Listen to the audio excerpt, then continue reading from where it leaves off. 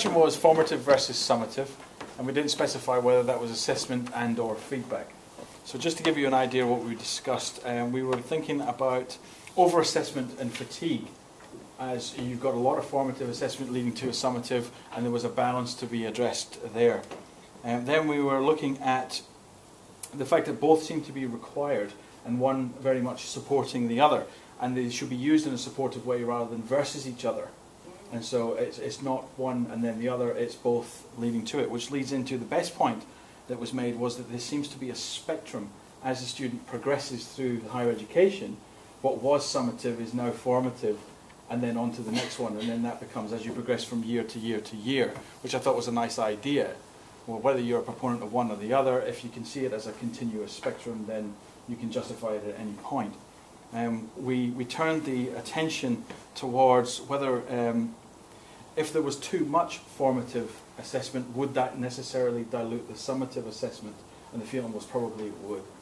Um, but again, it's a balancing act. And the best one was if we twitched the whole thing around and turned it at the staff facing rather than student facing direction, and how staff feel about being formatively assessed versus summatively assessed in their ability to do their job mm-hmm. versus their ability as a student to pass a degree.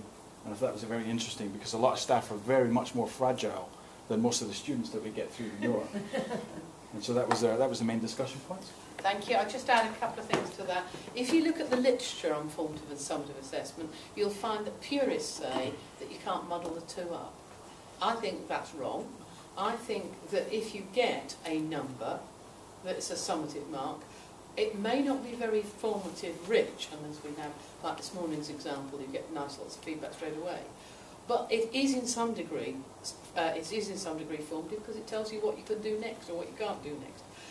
I'm quite keen on summative assessment that builds on earlier formative assessment, and I like your idea of progression so that as the student moves through the program, they get more and more sophisticated in using formative assessment and actually build through to the summative.